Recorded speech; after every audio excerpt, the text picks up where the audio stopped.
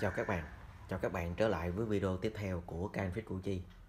Hôm nay tiến hành mình sẽ thay màn hình à, MacBook Pro A1286 nha các bạn.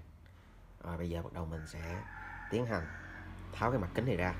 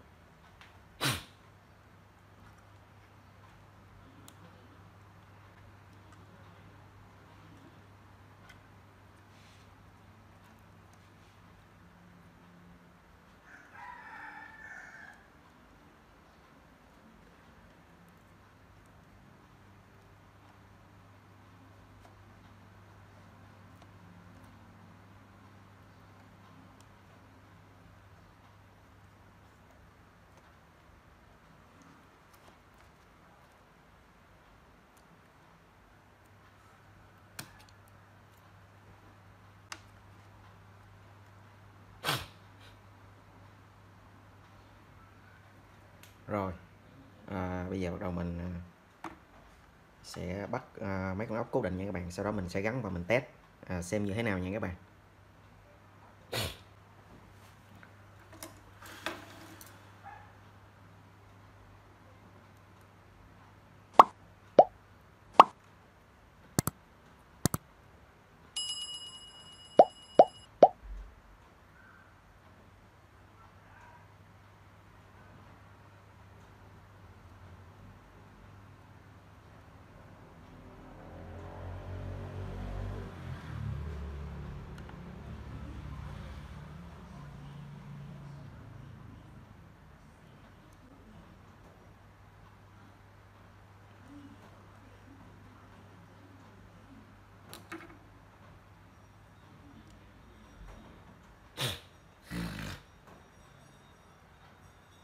Rồi. À, bây giờ tiến hành mình à, sẽ gắn vào nha các bạn. Và mình thử xem máy có xuất hình hay không. Rồi sau khi mình à, đặt cái à, màn hình vào trong cái máy nha các bạn. À, bây giờ tiến hành mình sẽ mở máy. À, xem màn hình có lên ok không nha các bạn. À, như vậy là mình sẽ kết thúc cái quá trình mình thay cái màn hình cho con MacBook A 1286 nha các bạn. Rồi tiến hành mình sẽ cắm nguồn.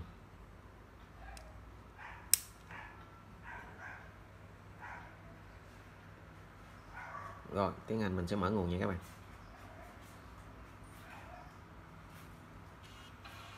Rồi, máy đã lên hình rồi, trái táo đã xuất hiện nha các bạn. Rồi, mình vào trong mình xem màn hình như thế nào nha các bạn.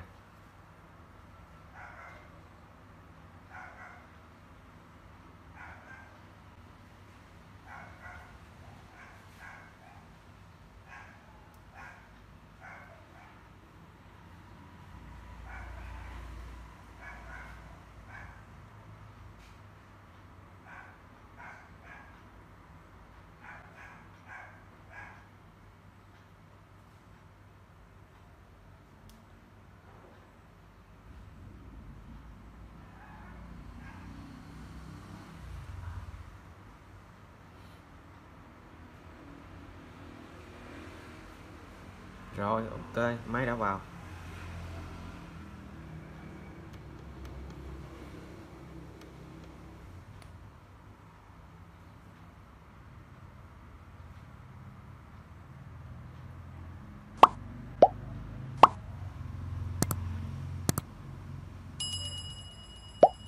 Rồi.